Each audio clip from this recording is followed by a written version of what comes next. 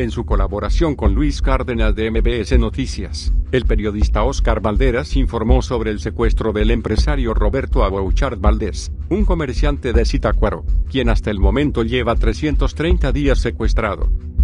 Fue el 11 de febrero del 2020, don Roberto de 73 años, describe Valderas, acudió a una cita en el kilómetro 87 de la carretera federal Toluca-Morelia, para mostrar una bodega que poseía.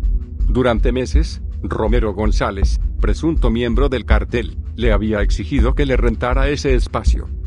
Valderas relata que la familia de la víctima especula que en cuanto Roberto llegó a su bodega a mostrarla, la familia michoacana lo subieron a un auto y le informaron que estaba secuestrado.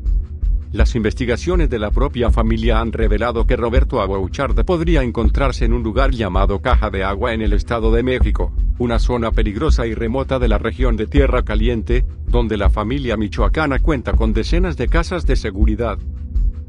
La familia michoacana es uno de los grupos criminales más peligrosos y violentos, con presencia no solo en el estado de Michoacán, también tienen presencia en Guerrero y el estado de México. Actualmente este cártel mantiene una tregua con otros grupos criminales michoacanos, quienes formaron el autodenominado Cárteles Unidos para hacerle frente al cártel Jalisco Nueva Generación.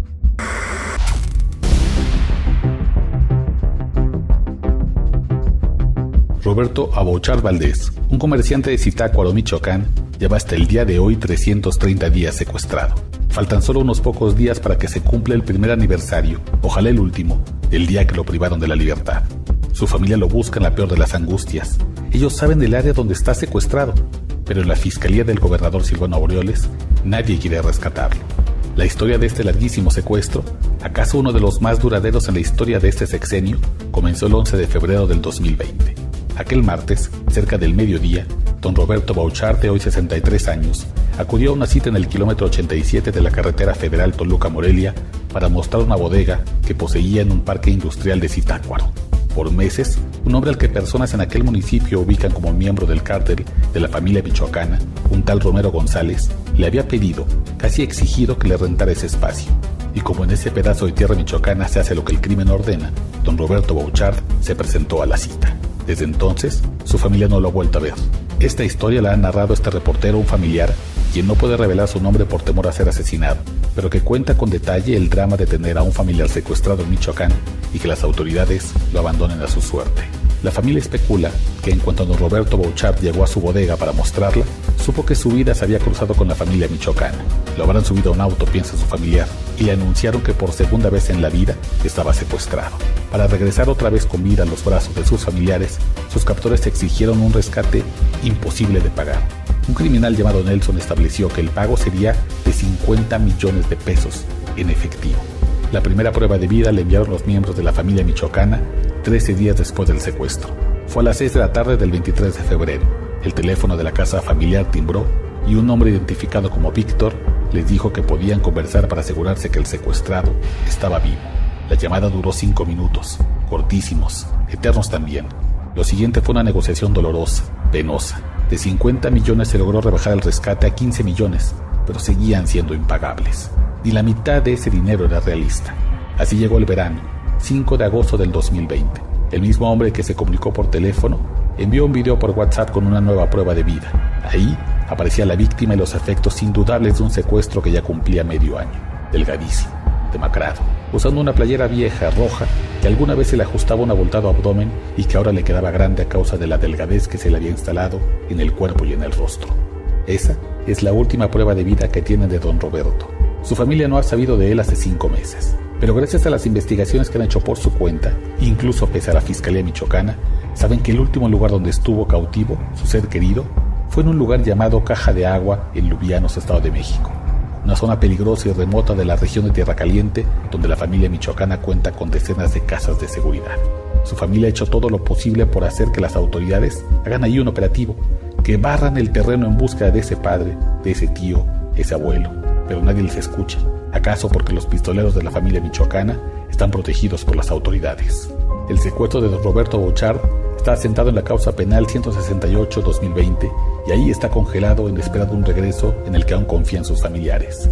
Una esperanza albergan. El hombre que fijó el rescate en 50 millones, Nelson, fue detenido hace unas semanas y ha solicitado un acuerdo, revelar dónde está secuestrado don Roberto a cambio de una sentencia reducida. La familia lo interpreta como que su ser amado sigue vivo, que la familia michoacana lo tiene cautivo para negociar. Solo falta que alguien en la fiscalía quiera ir por él, rescatarlo y poner fin a ese secuestro antes de que se cumpla un año con su silla vacía en la mesa familiar.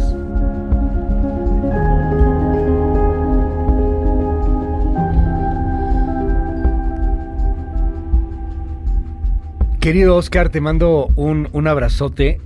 Eh, estas historias que nos cuentas a veces son muy complicadas para, para decir feliz 2021, que nos vaya mejor en este año, etcétera, pero ojalá que sí sea así.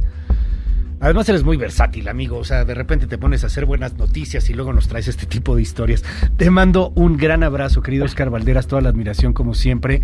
Y, qué fuerte lo que nos cuentas en este miércoles, eh, el secuestro de don Roberto que probablemente pues siga vivo y, que hoy uno de sus secuestradores pues, pues exige que le bajen la condena y dice dónde está, ¿no? Qué fuerte. Claro, claro, Luis. Eh, antes que nada, igualmente un abrazo, feliz año. Sé que es complicado decirlo, pero yo te que, que creo que incluso en estas historias podemos encontrar algo de luminosidad.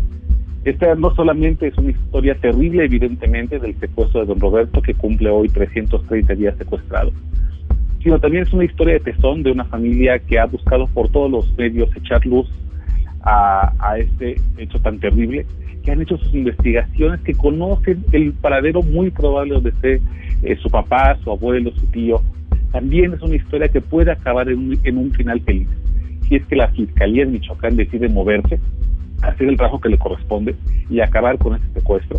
Y también es una forma de repensar cómo estamos eh, pensando en las amnistías en este país si es verdaderamente útil ofrecer este tipo de, mm, beneficios como condenas reducidas, este, tratos con los criminales y preveran el paradero donde está un ser querido desaparecido o donde tienen a alguien que ha secuestrado.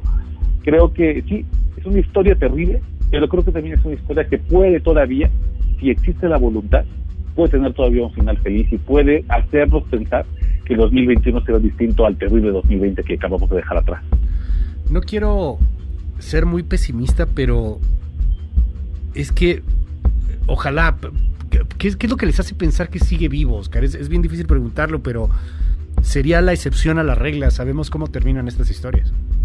Claro, fíjate que me pasaba lo mismo cuando hablaba con el familiar de don Roberto. No encontraba la forma de preguntarle, eh, con, mucho respeto, preguntarle, ¿y qué les hace pensar que está vivo si hace cinco meses que la última prueba de vida?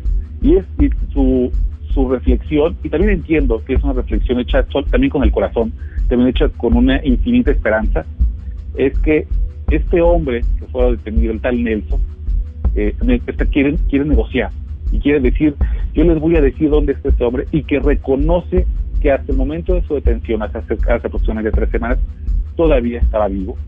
Yo les voy a decir dónde está este hombre, pero entonces quiero que me reduzca la pena quiero salir antes y evidentemente quiere salir de vuelta a secuestrar porque no va, no va a regresar a ser un hombre ejemplar si hace tipo de barbaridades. Claro. Pero imagínate qué dificultad, qué, qué, negociación tan complicada y además eh, qué difícil poder creer en la palabra de un tipo que evidentemente no, tiene palabra, que no tiene honorabilidad y pensar que si efectivamente se le dé el beneficio va a conducir realmente a donde está don Roberto y encontrarlo con vida.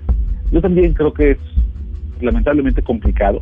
Creo que también los familiares lo saben, pero hay un deseo indiscutible y, imposible de frenar de que lo van a ver con vida y que no se van a cumplir un año sin poder abrazar de vuelta a don Roberto. Querido Oscar Valderas, toda la admiración, un abrazote y, y, pues ahí estamos. Esperemos este 2021 con mucha nación criminal. Bueno, no con mucha nación criminal, con muchas piezas de nación criminal y, y un país más pacífico, eso sí. Ojalá que sea, ojalá que así sea. Luis, te mando un abrazo igualmente. Feliz año a todos.